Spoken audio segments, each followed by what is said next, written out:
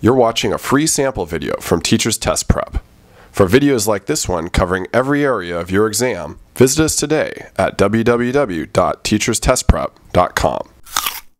The Earth's composition and the structure of the Earth system. Um, for starters, for the exam, there's some terminology that you want to know that will come up pretty frequently on the test. Um, and these four terms are important ones to know. Biosphere, lithosphere, hydrosphere, and atmosphere. The biosphere is the portion of the Earth in which living things live.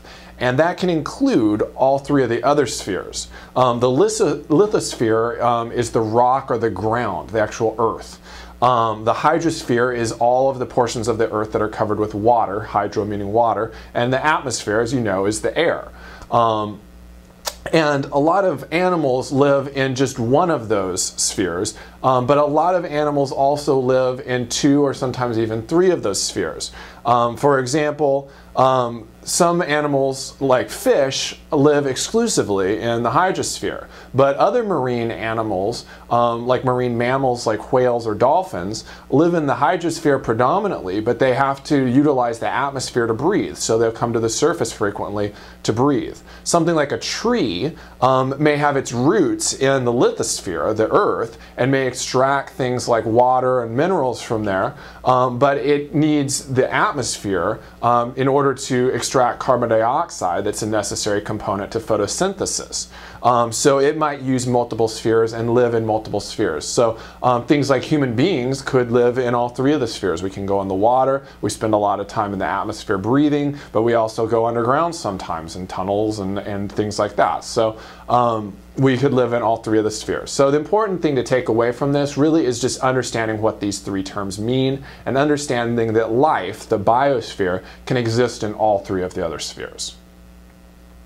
Now let's look at sort of the internal part of the Earth, um, the layers that make up the Earth. And quite often there'll be questions on the exam that'll ask about what one of the layers is called. And they might describe its composition or its location and ask you to say, is it the mantle, is it the crust, is it the inner core, the outer core? So you just want to have a basic familiarity with each of these layers.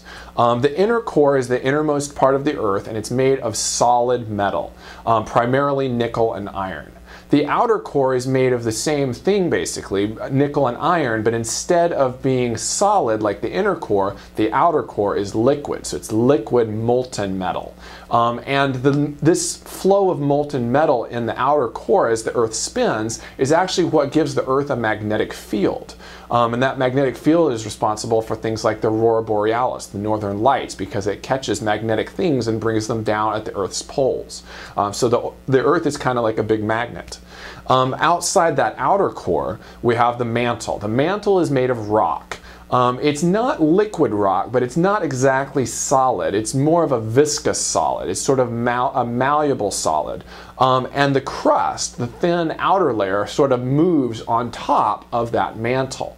Um, and the movement on top of that mantle is what creates uh, things like seismic activity, earthquakes, um, and the collision of plates as those plates shift on top of the mantle. The crust is very thin compared to the other three layers of the Earth.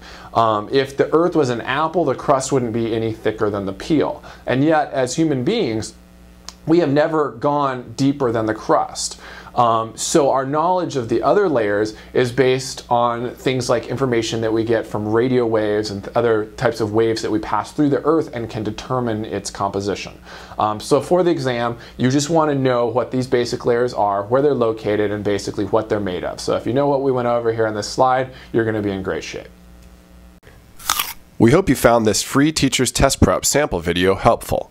For more videos like this one covering all the subject matter and strategy you need to pass your exam, visit us today at www.teacherstestprep.com.